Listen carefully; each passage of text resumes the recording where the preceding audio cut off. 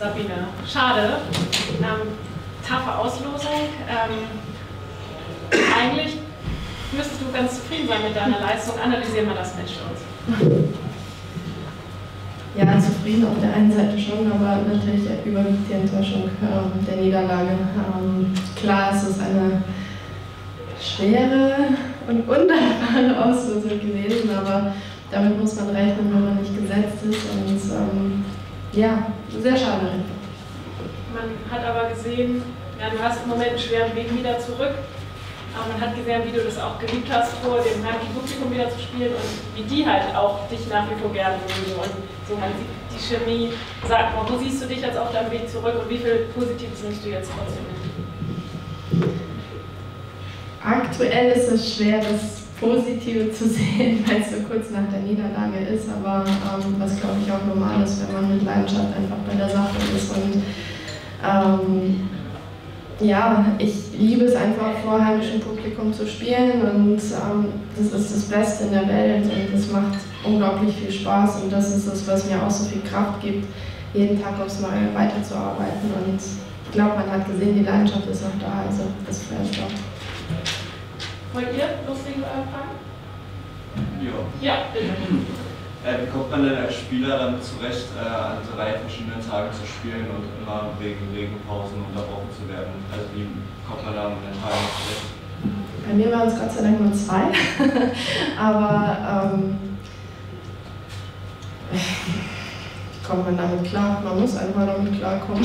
Also ähm, man kann es sich ja nicht aussuchen, von daher, man nimmt so, wie es kommt. Also bei uns ging es ja wirklich noch, wir hatten eine Unterbrechung. Also ähm, ich glaube, es ist viel schlimmer, wenn du mal runter, rauf, runter, rauf, wenn du mal nur ein, zwei Spiele spielst. Aber ich glaube, es war für alle einfach schwierig, ähm, weil du irgendwie bereit sein musst, denn nicht weißt, wann du spielen wirst. Und ähm, dieses Bereithalten zerrt halt auch so ein bisschen an der Kraft. Ist ja normal, weil du dich fokussieren musst, und, ähm, um für alle Fälle spielen zu können. Janovic ist ein guter Spieler, zweifelsohne. Sie hatten in den letzten Wochen, Monaten aber auch schon wieder lang die Spieler, wo ich gedacht hätten, man die hätte doch früher weggeschossen. Ähm, wie schwierig ist es wirklich, da geduldig zu bleiben und ich hätte nicht falsch verstehen, ich finde ja Podcast wirklich bewundernswert, aber wir sind ja alle nur Menschen, denkt man auch mal, ja, klappt das noch? Ich weiß nicht, warum mir das jeder in den Mund legen will. Ich weiß es nicht. Ich ähm, habe die Leidenschaft, sonst wäre ich nicht hier. Und äh, solange die vorhanden ist, ähm, werde ich weiter kämpfen. Dann aber auch sowas Mut wie Siegemund am Kreuzbach ist zurück und auch ihr Gegner heute, Tomjanovic, war ja schwer verletzt, ist dann auf Platz 960 oder so zurückgefallen, jetzt wieder Top 40. Ähm, hat aber auch zwei Jahre gedauert. Was macht das dann Mut? Also man unterhält sich natürlich viel. Ähm, Ayla kenne ich sehr gut und ähm, oder Kusi auch. Also äh, jeder hat ähm, glaube ich, nach einer längeren Zeit einfach mehr Probleme zurückzukommen. Es ist einfach so. Nicht umsonst sagt man ähm, im Sport generell, das, was du draußen bist, das Doppelte brauchst du, um wirklich wieder an das Top-Niveau anzuknüpfen. Wenn man jetzt sieht, ich war in den letzten zwei Jahren oder zweieinhalb Jahre, ich glaube 14 Monate komplett raus. Also das ist eine sehr, sehr lange Zeit, vor allem im Profisport. Beschreiben, wie die äh, nächsten Tage und Wochen für dich aussehen? Leider nein. ich nein. weiß es nicht. Weißt du gar nicht? Durch meine Ranglistenposition weiß ich nicht, wo ich reinkomme. Von daher ähm, ist es im Moment so eine Last-Minute, ähm, ich will es nicht Aktion nennen, ähm, Entscheidung, glaube ich, wird es besser. Ähm, ja, weil man drauf warten muss, wo man äh, im letzten Moment noch reinrutscht und spielen kann. Das geht ja zumindest jetzt dann wieder auf Rasen bald. Hoffentlich. Ja, das, genau, das ist schon was, was Sie dann immer positiv stimmt, da ist ja eben klar. Ja, ich glaube, das ist eben auch eine Sache, die, ähm, die man positiv nehmen kann. Asche ist einer meiner schlecht oder ist mein schlechtester Belag und trotzdem habe ich gut gespielt und ähm, ich glaube, das ist das Positive, was, was man daraus nehmen kann. Ähm, ich hoffe, dass ich in ein paar Turniere reinkommen werde in den nächsten Wochen. Sowohl in Hertogenbosch als auch in Nottingham war der Cut für die Quali niedriger als mein jetziges Ranking. Von daher hoffen wir sehr, dass ich da reinkomme. Aber wie gesagt, es ist ähm, im Moment einfach sehr schwierig zu planen. Aber wir werden versuchen, auf Rasen zu spielen, definitiv.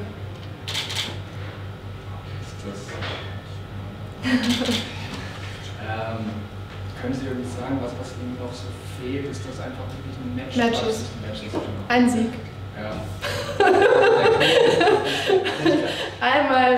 Es ist ja auch in Stuttgart, ein Punkt, ein Punkt hier und da. Ich meine, ja, der erste Satz steht zwar 6-2 da, aber ich, äh, ich glaube, jeder, der es gesehen hat, weiß, dass es wesentlich knapper war.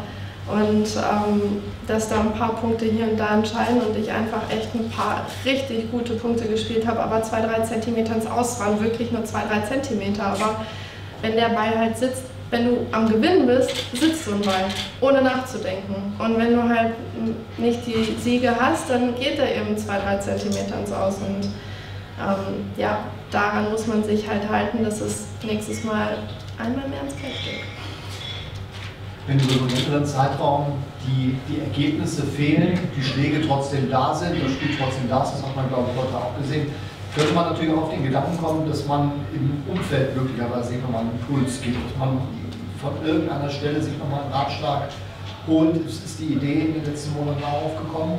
Ja, ich habe vor zwei Wochen meinen Trainer gefeuert, ähm, weil das nicht funktioniert hat und ähm, ja, ich glaube, mit 29 kann man mein Spiel auch nicht umstellen und sollte man auch nicht. Und ähm, ich werde jetzt wieder mit meinem Vater und also mit der Familie ähm, trainieren und das wieder back to basics angehen und darauf aufbauen, weil mir das immer viel Vertrauen gegeben hat und viel Sicherheit gegeben hat und ich glaube, das ist im Moment das Wichtigste, was ich brauche. Und ähm, ja, und dann schauen wir, was in den nächsten Wochen und Monaten passieren wird.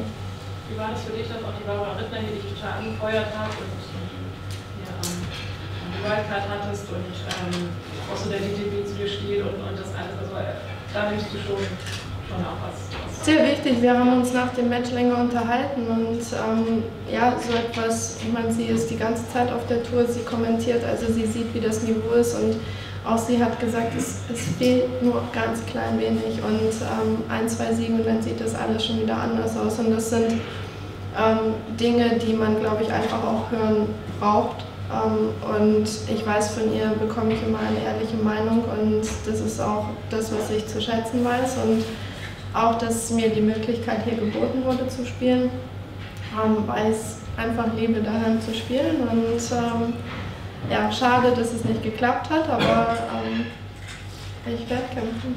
Nächstes Jahr nicht mehr versprochen?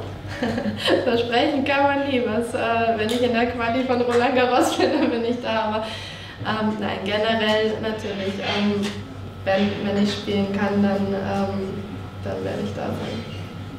Noch Fragen? Kannst du nochmal für diejenigen, die es nicht auf dem Zettel haben, die vorherige Konstellation erklären? Äh, welche Konstellation? Mit, mit wem du vorher zusammengearbeitet ähm, Marcel Ducoudray, ähm, ein Südafrikaner.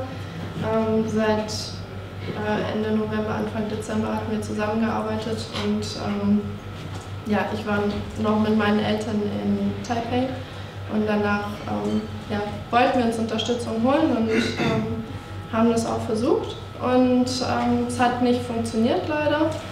Und ähm, daraus hat man Konsequenzen gezogen, aber ähm, ja, jetzt braucht es etwas Zeit, um das Spiel wieder dahin zu strukturieren, wie man es sieht und auf die Stärken aufzubauen, die ich habe und darauf zu vertrauen. Und ähm, hoffentlich kann ich dann beim nächsten Match noch mehr drauf bauen. Ja. Also ich, ich habe auch mit Barbara Rittner schon gesprochen, jetzt nicht speziell über sie, aber deutsche Tennis wird sie auch ausdrücklich gelobt und dass sie Vorsitzende auch für die jüngere Generation, die gerade Probleme hat. Ähm, dieser Support, den Sie gerade auch schon angesprochen haben und rückhalten dann dazu auch von den Fans noch dann sieht wirklich, es ist kein Unterschied zwischen Petkovic oder so, Burgess, das ist ist das wirklich, wo Sie halt wirklich da auch Kraft rausziehen können? Auf jeden Fall, das ist, ähm, wie ich am Anfang schon gesagt habe, das ist das, was einem auch Kraft gibt, äh, jeden Tag zu trainieren und weiterzumachen und ähm, ja, und einfach äh, durchzuhalten, weil ähm, hätte ich die Schläge nicht, wird es nicht funktionieren, dann ist es was anderes. Aber ich habe die Schläge und ähm, es muss einfach alles nur gut strukturiert werden, sodass ich darauf zählen kann und in den entscheidenden Momenten einfach den Punkt auch machen kann. Und ähm, ja, mehr ist es nicht eigentlich.